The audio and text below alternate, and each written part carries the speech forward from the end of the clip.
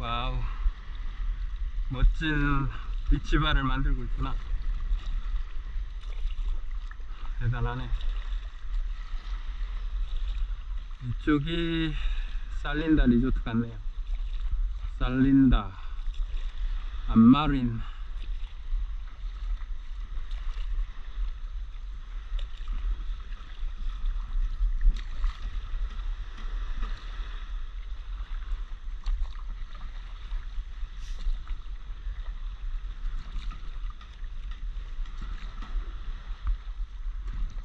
살린다 리조트. 북극에서 아주 유명한 리조트 중에 하나입니다. 살린다 리조트가. 한국 사람들도 꽤 많이 오는 편인데, 어, 앞에 있는 사람이 한국 사람들 같네. 그래서 안에 풍광이 좀 다릅니다.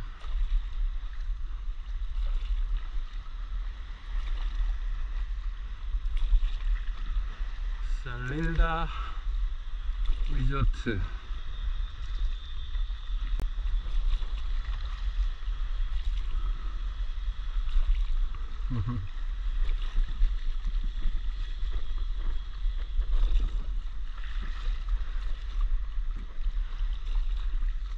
엘 아마린 리조트.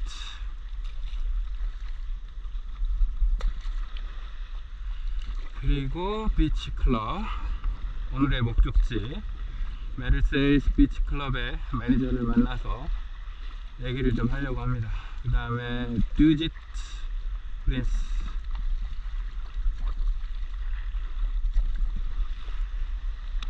아주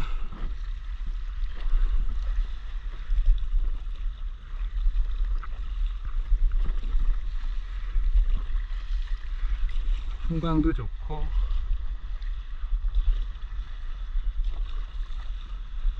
역시 비치클럽에 사람이 없네.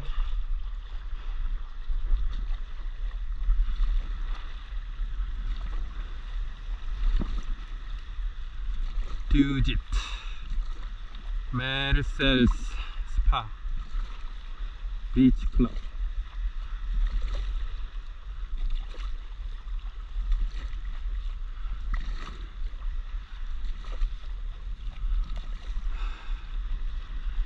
여기가 사통 팔달인데 이렇게 사람이 없구나